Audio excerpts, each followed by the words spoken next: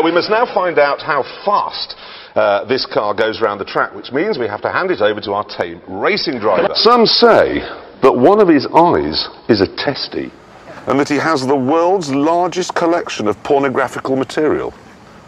All we know is he's not the Stig.